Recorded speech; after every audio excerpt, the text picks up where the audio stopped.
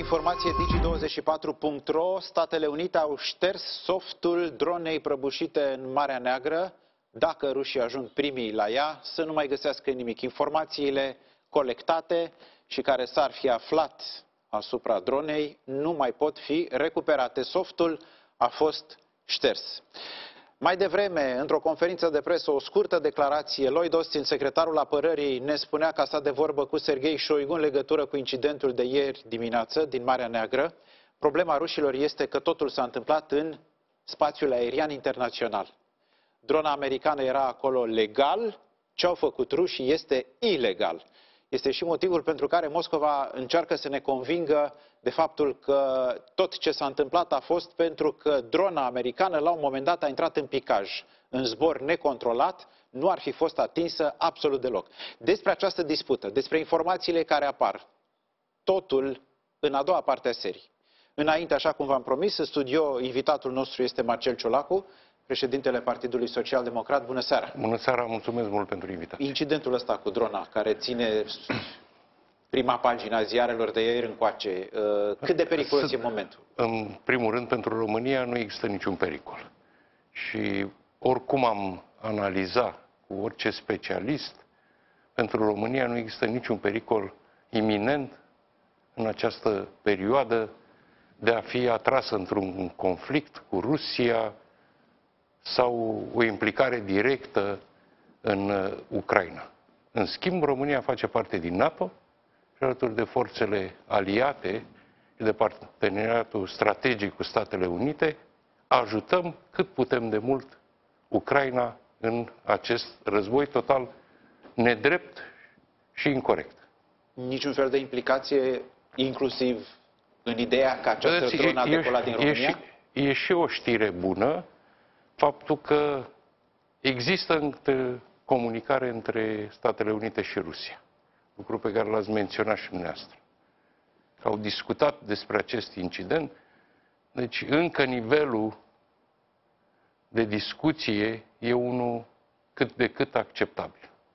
Există în România un curent populist, sunt sigur că l-ați văzut, exprimându-se, care cere ca țara noastră, din cauza războiului, să iasă din NATO și să fie neutră. Ce le spuneți marele, celor care marele, gândesc asta? Marele câștiguri ale României și mă bucur. Cel puțin aici aportul Partidului Social Democrat e de necontestat. Și integrarea în Uniunea Europeană, cât și în NATO. Și în astfel de momente vedem cât de importantă este apartenența României la Uniunea Europeană și la NATO, este exclus. Există voci, am văzut că există și partide pro-ruse în Bulgaria, apar astfel de lucruri în situații de criză. De aceea și decizia noastră a fost de a ne implica în actul de guvernare alături de adversarul tradițional al Partidului Social Democrat, Partidul Național Liberal.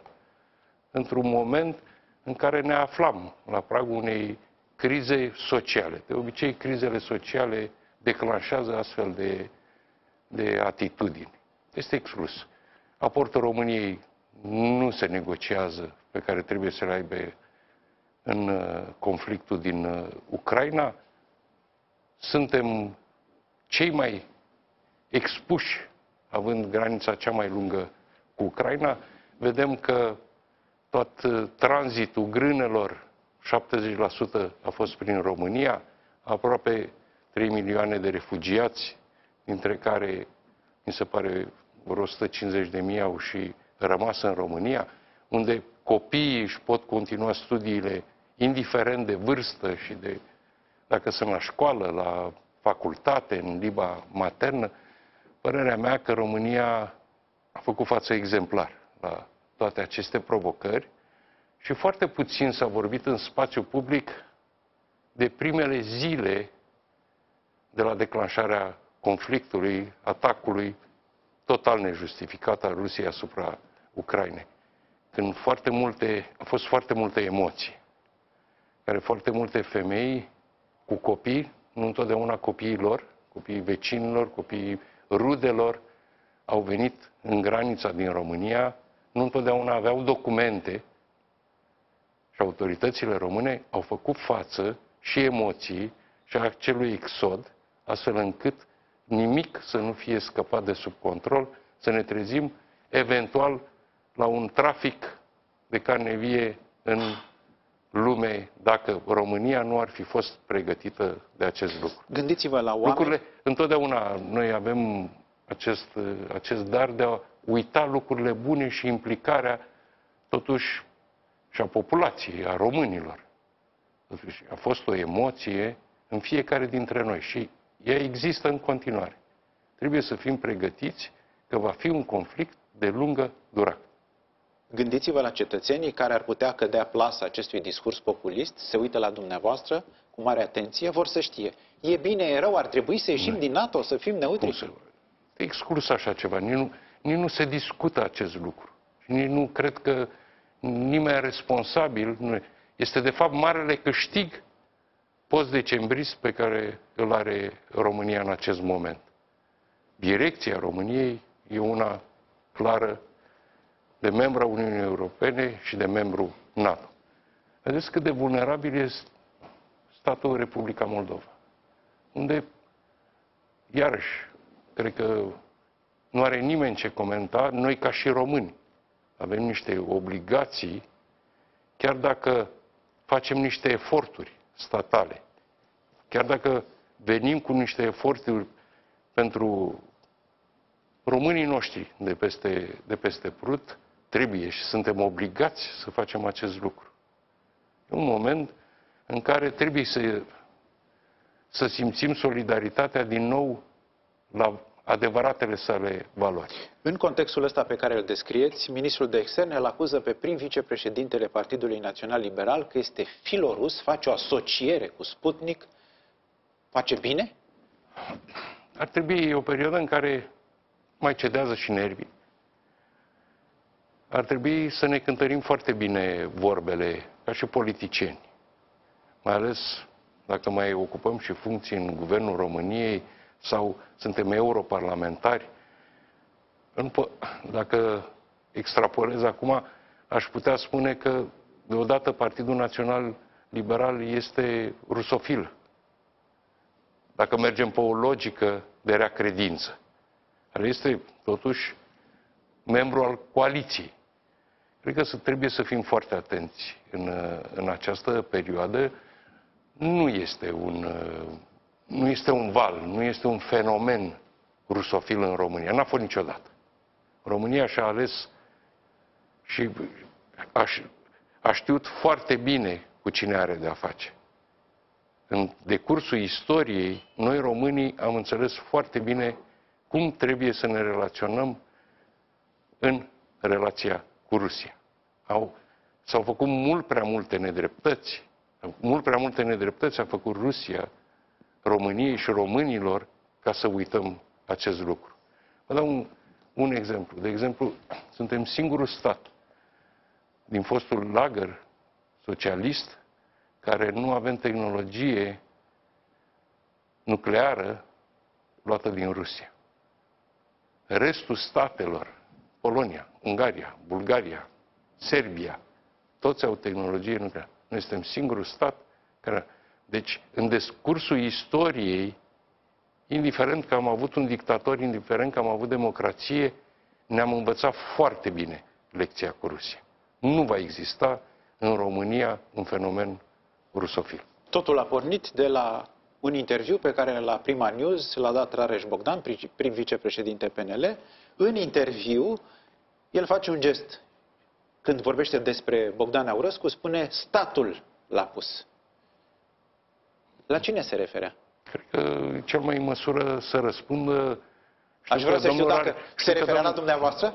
Eu nu reprezint, sunt președinte al Camerei Deputaților, rebelnic, ca fiecare dintre noi în aceste funcții, dar cred că e cel mai în măsură să dea anumite explicații, dacă s-a referit la cineva anume, referit la președintele țării, referit la altcineva.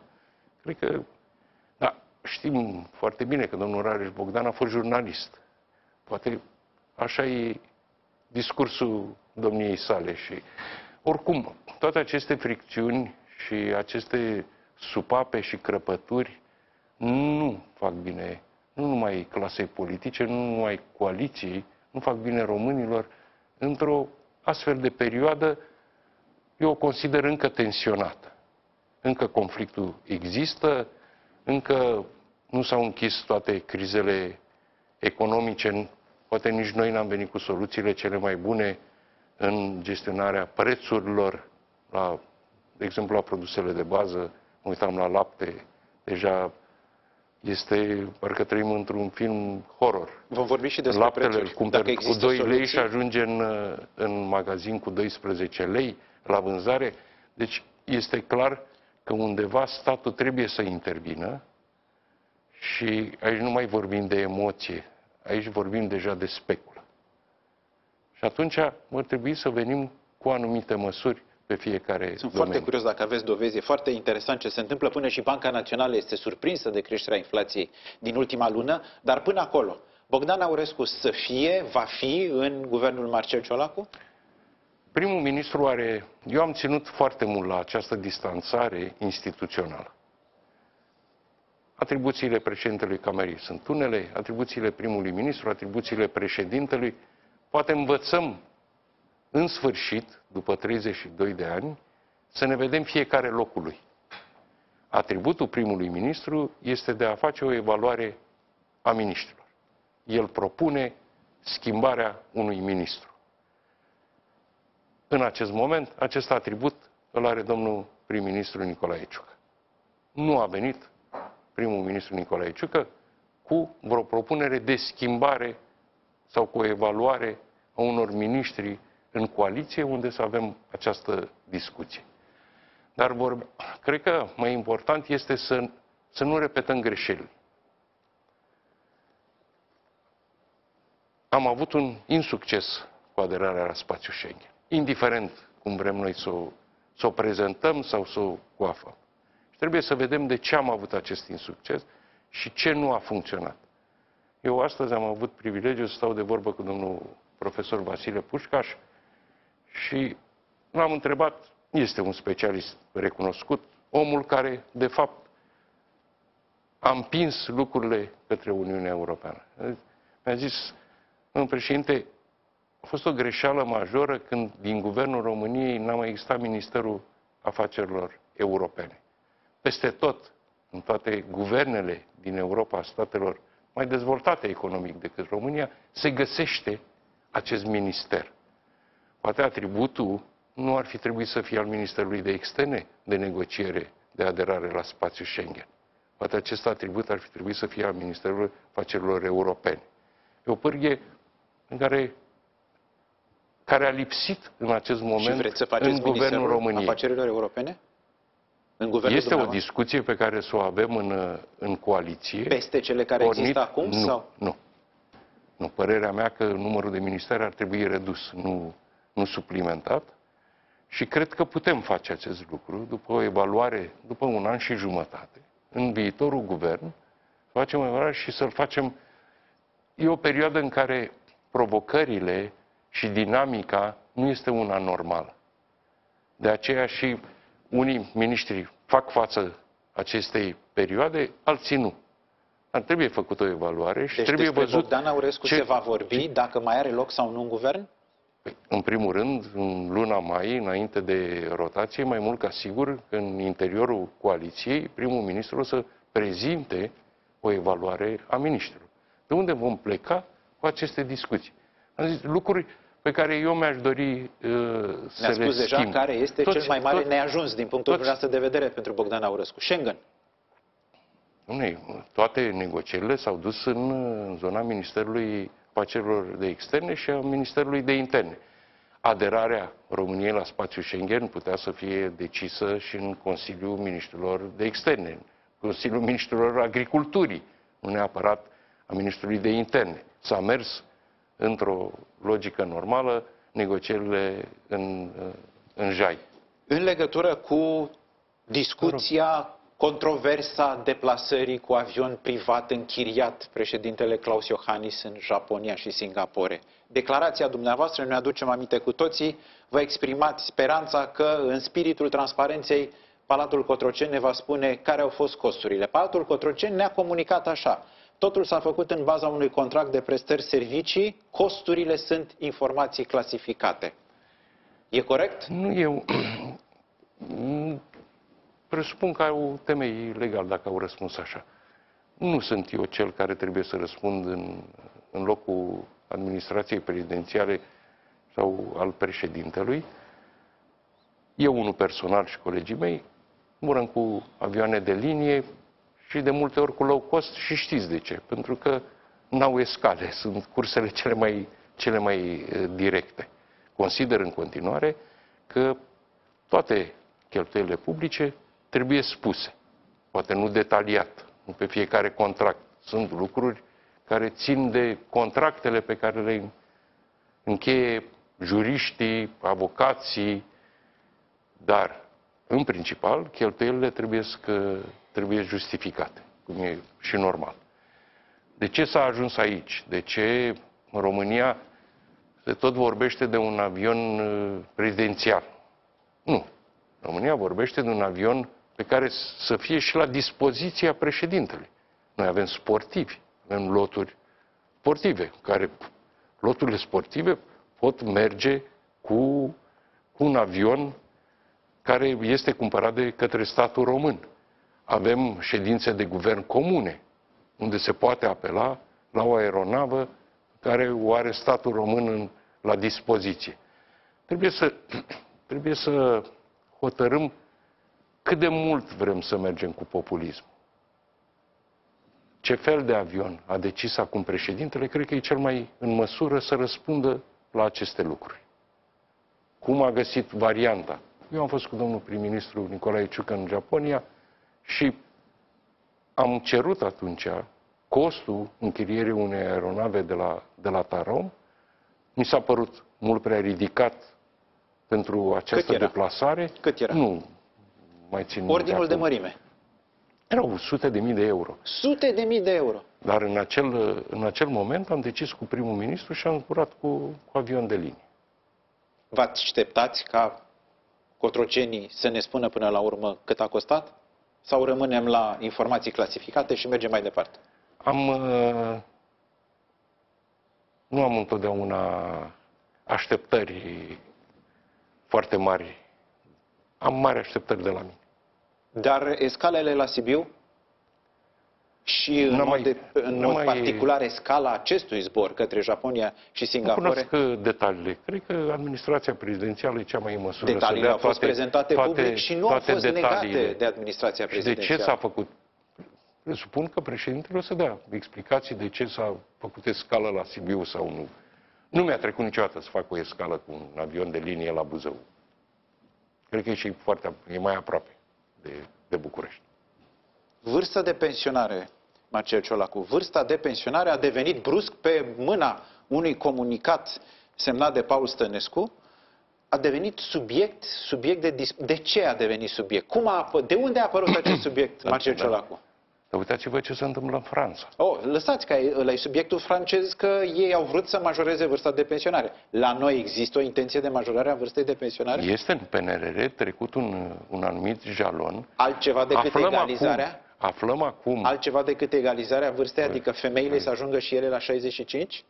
nu cunoaștem toate detaliile. Presupun că ministrul muncii va veni și va lămuri aceste lucruri. Am văzut că fostul ministru al muncii a spus că nu știe ce e trecut în PNRR și că a fost modificat ce a propus să fie trecut în PNRR. Eu nu cred că e momentul să ajungem uh, la astfel de discuții. Trebuie o corelare. Deci nu e cert, Marcel trebuie o Ciolacu. corelare. Stați așa, nu e cert că există această Trebuie- egalizare? Femeile Ba să- nu, egalizarea este. este de la asumat. 62,5 la 65 până în 2030 și... Până în 2035, parcă, sau 32. Trebuie să existe o corelare între vârsta de pensionare și Speranța de viață, speranța spuneți. de viață. Noi avem, față de celelalte state europene, avem o speranță de viață mai redusă. Nu poți, nu poți să aplici anumite reguli în, uh, în România cum sunt aplicate în Franța. Nu cred că e momentul să ajungem iarăși la o criză socială pe niște povești. Eu sunt ferm convins cu răbdare. Se am făcut, o criză socială? Cum, cum, cum am făcut și până acum. Dacă vii cu anumite lucruri care depășesc bunul simț, cum s-a întâmplat cu pensiile speciale. Dacă vreți să le detaliem, Neapărat. Se, ajunge, se ajunge la un moment dat și la crize sociale, fiindcă oamenii se simt uh, nedreptățiți. E un drept constituțional dacă decid să își continue activitatea, beneficiază de anumite bonificații, dar nu este o obligație. Repet, cred că prioritatea noastră e să creștem nivelul de tai, să creștem speranța de viață și pe urmă să vorbim Am înțeles. de modificări. Principiul mi-e clar. Avem nevoie însă de niște informații. În primul rând, PSD. Care este opțiunea PSD în legătură cu egalizarea vârstei de pensionare acum? Este un lucru asumat în PNRR. Bun. Deci cu Deci egalizarea nu- nu aveți nimic împotriva. Majorarea însă peste 65 de ani, Sunt foarte multe reforme trecute în PNRR. Haideți să luăm istoria PNRR-ului. El a fost secretizat. Noi nu am avut acces la PNRR, l-am cerut în Parlament. În toate parlamentele din Europa au fost prezentări ale PNRR-ului, mai puțin în România.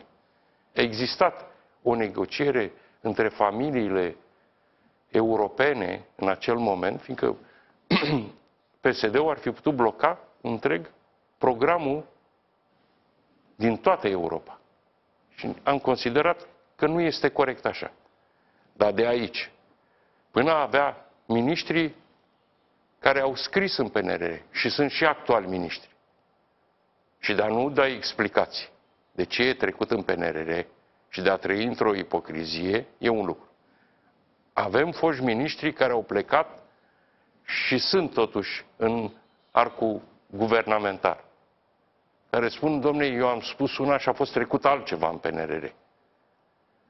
Și cazuri în care sunt lucruri, sunt anumite reforme, în punctul meu de vedere, care nu au nicio treabă cu realitatea, care trebuie renegociate la Comisia Europeană, cu mai multă responsabilitate. Parcă cineva a lăsat un teren minat cu multe antimine, cu mine puse și acum încet... sigur aveți un vinovat. Cine e vinovatul? Nu, e- despre cine vorbim? Cine a gestionat? cine vorbiți? Domnul Ghinea. Cine a gestionat și n-a comunicat faceți vinovat? tot ceea ce... Îl fac vinovat Pentru pentru, că nu a secretizare, comunicat. pentru- Toate, pentru toate ce? aceste lucruri trebuiau făcute cu dezbateri publice. Ați văzut? De, vă dau un exemplu. Legea educației. Nu trebuie făcut ceva în educație. Lucrurile nu funcționează. Știu și eu, știți și dumneavoastră. Ne uităm la copiii noștri. Ceva trebuie modificat. Eu a plecat de la un proiect al președintelui România Educat, e mai puțin important. Au fost discuții, au fost echipă de lucru în interiorul coaliției. S-a lucrat aproape o lună de zile și bine s-a făcut. În momentul ăsta s-au plecat, în, s-a vorbit cu sindicatele, cu cultele, urmează cu părinții, cu copiii, cu societatea civilă. Asta, astea sunt regulile democratice. V-aș de a fi întreba- susținută o lege Dar mie de că ne reformă. întindem Și am atâtea lucruri să vă întreb. V-aș întreba până când va dura misterul ăsta? Adică nu e momentul totuși să știm ce scrie în PNRR și să mergem mai Eu departe? cred Cum că faceți? ați văzut cum Veți fi prim-ministru, nu peste o lună. Ați văzut peste o lună cum și s-a ceva. anunțat, domnule, va pierde România bani din PNR, din uh, cererea de plată numărul 2. S-a rezolvat cererea de plată numărul 2. Am venit cu un amendament asumat de către mine și domnul prim-ministru Nicolae Ciucă. Am încheiat uh, și cu avertizorii. Cred că această abordare, din partea, cel puțin a mea Aveți și a un primului termen. ministru, Marcel Ciulacu, un termen. Când știm și noi ce scrie va, acolo. va fi corectă pentru fiecare cerere de, de plată. Facem o mare greșeală, reducem discuțiile. Dom'le, hai să vedem cum cheltuim banii din... Cu toate că asta este prioritatea numărul unu. România nu De poate există depăși. PNRR. Nu. PNR-ul există pentru politici europene. Noi trebuie să avem, noi trebuie să implementăm politicile europene Pensii. la nivelul Marcel Ciolacu. României. Deci ne-ați spus așa. Sunteți de acord cu egalizarea, oricum e un angajament luat deja. Nu toată sunteți de acord Europa. cu pensionare peste 65 de ani, dar Uite. oamenii să aibă O dreptul crești. legal de a opta Au, Pentru în acest moment, oamenii au acest pensie la drept. 70, Poate să meargă până la 70 de ani, să rămână în... pensii speciale. Care e opțiunea PSD? Care e soluția PSD pentru rezolvarea problemei pensiilor speciale? În primul rând, au existat mari abuzuri legislative în ceea ce privește pensiile de serviciu, așa zisele pensii speciale. Nu poți, nu există niciunde în lume, să ai la pensie să câștigi mai mult decât ai avut în activitate. Este hilar ce s-a întâmplat în România. Nu poți să fii magistrat o zi și să beneficiezi de pensie de serviciu. De aceea, acum, toate lucrurile s-au extins și către armată. Putem vorbi de o țară membră NATO fără o armată sau să intrăm într-o zonă populistă de a căuta, de a câștiga voturi și de a procente electorale și să venim cu, cu un mesaj populist în zona de armată, în zona de poliție. Avem una dintre cele mai sigure țări din, nu numai din Uniunea Europeană, cred că din lume. Putem merge liniștiți pe stradă, nu se întâmplă nimic. Sunt excepții. La noi nu sunt fenomene infracționale de tâlhărie, de crime și așa mai departe. Reproșul aici deci, nu a deci, fost de recompensare sau nu a celor care fac lucruri bune pentru ne, țară, ci trebuie, de nedreptate. Trebuie, trebuie, categoric. De aici a venit ura. De la, de la Cum rezolvați niște... nedreptate? Vom veni și vom face modificările pe fiecare categorie. Ce modificări? Este exclus să câștigi mai mult la pensie decât ai avut în activitate. Nu este nicio lege, nu este retroactivă niciunde în lume. E neconstituțional. Și trebuie să știm foarte bine. Și atunci trebuie să găsim cum impozităm aceste excese ale legii. Și vom veni cu tot acest calup. S-a făcut un grup de lucru, cum am făcut și cu legile educației la nivelul, la nivelul coaliției. Integratorul e normal că este ministru care răspunde domnul Marius Budăi și sunt ferm convins că într-o perioadă scurtă de timp vom veni și vom închide acest capitol Două luni. Nu, nu, nu, nu căutând să câștigăm voturi. Din potrivă, venind cu o lege sustenabilă, constituțională și pe care să o explicăm românilor să o înțeleagă Punctual. perfect. Două luni, o lună, ce termen vă dați? Păi avem termenul în uh, cererea de plată numărul Pentru 3. Pentru plata numărul 3. Categoric. Adică nu vom, nu vom depăși, martie. Nu vom depăși. Sfârșitul lui martie este pentru plata numărul Avem termenul de... Putem scrie comisiei și avem, ni se poate și... da, nu știu, 60 de zile. Atunci când spuneți că enunțați un principiu, nu poți să ai o pensie mai mare decât salariul că pe care le-ai avut. Va fi vorba despre un salariu mediu, va fi vorba despre ultimul salariu, care va fi Trebuie, uh, să ne, trebuie, trebuie, trebuie odată să ne întoarcem. Nu e bugetarul numărul unu din România este președintele României. Și trebuie să ne raportăm la ceva. Noi nu ne-am mai raportat la nimic. Este ilogic așa ceva. Omul cel mai votat din România este președintele României. Te raportezi de la el și de acolo vii cu grila. Adică pensia unui militar, de exemplu, mai nu va putea fi mai mare decât salariul președintelui, dar nu mai mare decât poate, propriul poate salariu. Să fie, poate să fie mai mare pensia, pentru că există și există pensii în plată. Dar vii cu un sistem de impozitare astfel încât să se închidă orice abuz. Pe praguri. Eu văd, în momentul în care ai, un, un salariu, ai o pensie mai mare decât ai avut salariu, cred că este corect să vii cu un prag de impozitare pe acea diferență Salariul cât mediu mai din mare. carieră sau salariul, ultimul salariu? Nu, aici se prevede și în, în legea pensiilor, unde trebuie specificat foarte clar perioada. Nu mai merge să venim cu perioada de șase luni. Nu mai merge să ai activitate, și atunci? trebuie să ai o activitate de magistrat de 20 de ani. Ok, deci salariul ai, mediu ca, din 20 nu de ani. Nu poți să te pensionezi la 45 de ani și să ai pensie de 20.000 de lei. Fiindcă e ilogic. Acum am înțeles. Marcel Ciolacu, rotativa se va face ca în înțelegere, ca în protocol, sau mai aveți lucruri de negociat? În, în acest moment avem un protocol pe care îl respectăm. Asta nu înseamnă că suntem strâmtorați politic într-un anumit cadru. În acest moment este un protocol și îl vom respecta. În funcție de evaluarea primului. V-am dat un exemplu cu Ministerul Afacerilor Europene care din punctul meu de vedere ar trebui să existe în, în componența guvernamentală, scoțând sau făcând o reducere a unuia sau două ministere.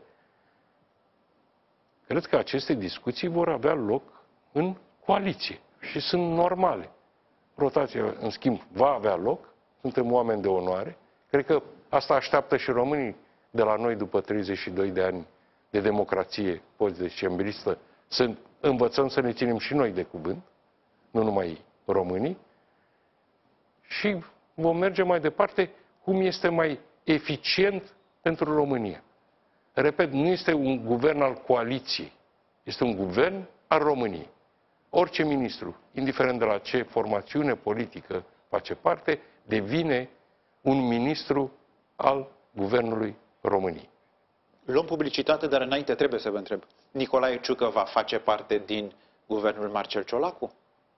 Nu, din câte cunosc eu și din discuțiile avute cu domnul prim-ministru Nicolae Ciucă, domnia sa dorește să meargă președintele Senatului.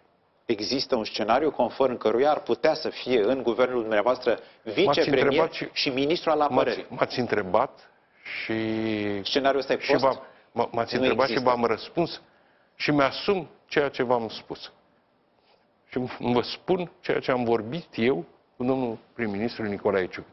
Domnul Nicolae Ciucă nu cred că își dorește să se mai întoarcă ministrul al apărării. Ar fi, ar fi și o debalansare a forțelor, fiindcă eu sunt președintele Partidului Social Democrat, domnia sa este președintele Partidului Național Liberal. S-ar crea un disconfort și în Partidul Național Liberal și în Partidul Social Democrat. Deci e un scenariu cu adevărat aruncat pe piață, nu e singurul, dar nu este un scenariu probabil. Dar vă provoc după pauză. Vă rog. Scenarii și nume. Cu Marcel Ciolacu, vă așteptăm.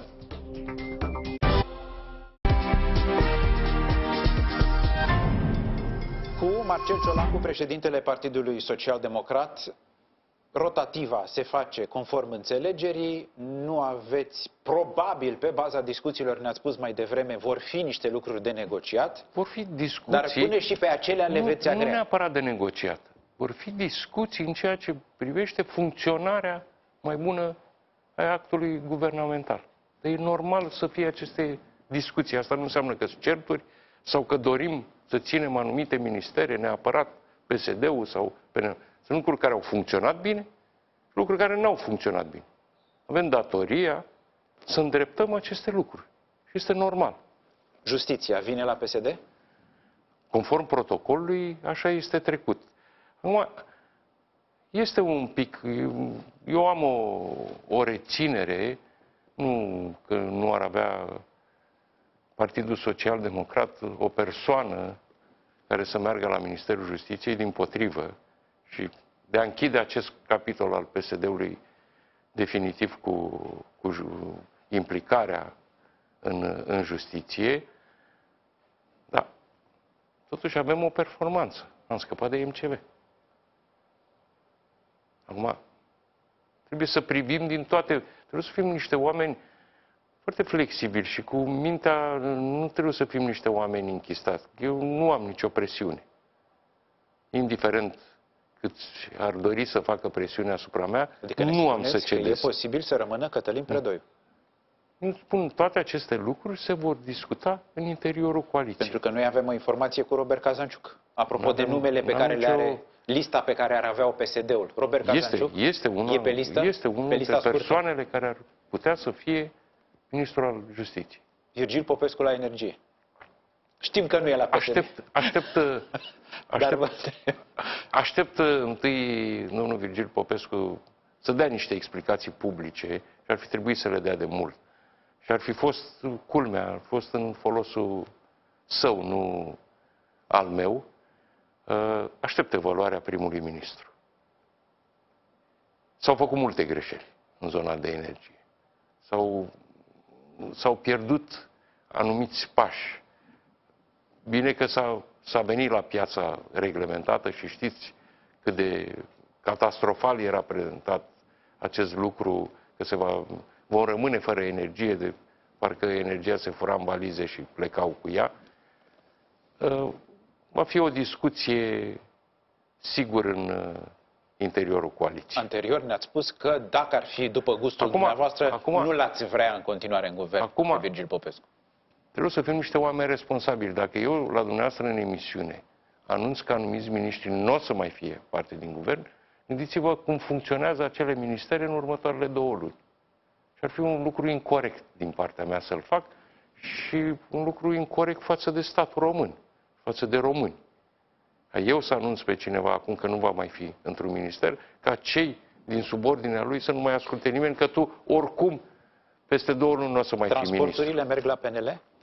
Conform protocolului, în acest moment așa este Ce stipulat. cu Sorin Grindeanu? Ministrul Fondurilor Europene uh, trece la PSD și Ministerul Transporturilor la PNL. Sorin Grindeanu. Eu, în primul rând, uh, să știți că este unul dintre miniștrii din punctul meu de vedere și a multor specialiști, este un pariu super câștigat.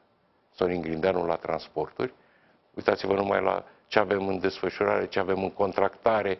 S-au bătut toate recordurile la Ministerul Transportului. Felicit și pentru implicarea cu canalul Ustroie, pentru că el a semnalat primul acest lucru. Care este finalitatea, cum se duc discuțiile prin Ministerul afacerilor, Ministerul de Externe, s-a intrat într-o zonă diplomatică în acest moment, dar dragarea pe canalul Bâstrăie în acel moment a încetat. Datorită acestei semnalări a ministrului Ce se va Sorin Grindeanu. Sorin Grindeanu. Sorin Grindeanu e parlamentar. Nu port eu de grijă domnului Sorin Grindeanu. Poate să meargă la cameră în locul meu, în cazul în care eu merg prim-ministru. Deci nu, și nu cred că Asta este o, o urgență nici pentru mine, nici pentru Sorin. Ligia Deca, sunteți mulțumit? Am avut discuții cu dânsa când am discutat uh, legile educației, a avut anumite abordări. Am fost surprins plăcut de, de faptul că, pe urmă, în baza unor argumente, a făcut modificările respective în, în legea educației a fost și o tatonare și a văzut că nimeni nu este de, de fapt de rea credință și toată lumea vrem cu toții să ne asumăm o, o lege a educației, nu care să facă rău educației. Totuși să fie bine primită și de sindicate și de părinți și de, de copii, ca să fie un plus, nu un minus. Și au fost, ne-am încadrat într-un dialog. Deci sunteți mulțumit? Nu, sunt, nu, nu trebuie să fiu eu mulțumit. Eu sunt ferm convins, vă repet, că primul ministru va veni cu analize, cu propria evaluare. evaluări pe fiecare ministru. În, și în asupra interiorul... ministrilor PSD? Îi va evalua și pe ministrii PSD? Categoric. Asta este atributul primului ministru. Spuneți-ne, Gabriela Firea, ne-ați explicat deja, nu există nicio altă variantă la PSD decât Gabriela Firea, candidat pentru primăria capitalei. Acest... Întrebarea este, va fi susținută și de PNL? Nu am avut aceste discuții de, în coaliție de a avea candidați unici la primăria capitalei sau oriunde. Sunt anumite proiecte, în mențin părerea publică. Cea mai bună variantă în acest moment pentru România este o coaliție între cele două mari partide, Partidul Social Democrat și Partidul Național Liberal. Văd această colaborare și din anul 2024. Cum vom creiona acest lucru, cum vom duce discuțiile politice, urmează în perioada următoare.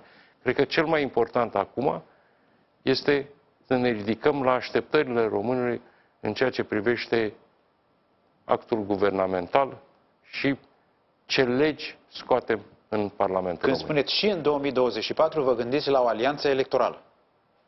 În acel moment nu mai vorbim de o, de o coaliție. Dacă mergem separat, foarte greu după o campanie electorală în care mergi separat să mai creionezi iarăși o, o coaliție. E, au, are și politica ei limitele sale. E greu să mai creăm. Dacă facem o alianță politică, eu cred că vom avea un viitor comun și în 2024 în ceea ce privește majoritatea parlamentară. În sensul ăsta, niște semnale de la PNL aveți? Sunt Ei discuții. vor, îi Sunt- interesează, ar vrea să discute varianta asta? Cred că pe mine mă interesează cel mai mult ce vor colegii mei din Partidul Social Democrat. De acord. Și pe urmă Dar dacă aveți ce în minte doresc acest cei din proiect, Partidul fără PNL Național nu se Liberal. poate. Eu v-am spus și mi-asum această părere, este părerea mea. Am avut anumite discuții cu, cu primul ministru, ele nu au fost transferate în acest moment în josul partidului. Spuneți-mi dacă această alianță ar fi la nivel local, parlamentar, Nu avem, nu sunt, nu, e- nu e nicio discuție. Repet, discuțiile în acest moment sunt pe legea pensiilor. Discuțiile, de multe ori presa zice că aveți azi coaliție. Mă văd foarte des cu primul ministru. Dar e și normal să fac acest lucru. Nu cu secretarul general al guvernului împreună și am luat, am luat jaloanele care sunt de îndeplinit acum.